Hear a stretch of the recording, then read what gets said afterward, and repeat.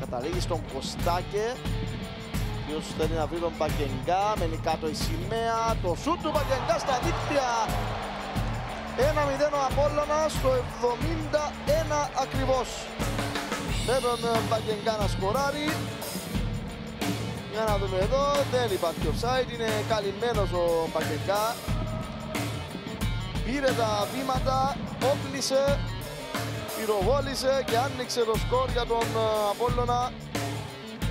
Ωραίο γκολ, ωραίο τελείωμα.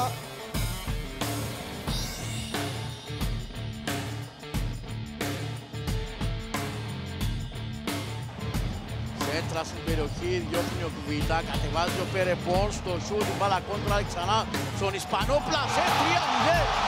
Καταπληκτικό γκολ από τον Περεπών στο 24. Βλέπουμε ξανά το κατέβασμα από τον Πέρε και βλέπουμε πού στέλνει την μπάλα και ε, είναι εξίσου πιο δύσκολο, ε, ακόμη πιο δύσκολο με συγχωρείτε, το γεγονός ότι έρχεται με το αριστερό πόδι που δεν είναι το καλό του.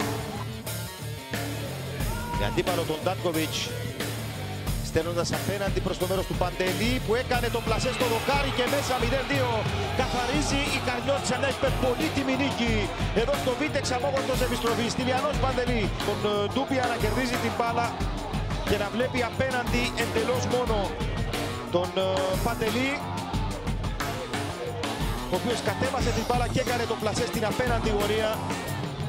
Πρώτα στο δοκάρι και μετά στο βάθος της εστίας για το 0-2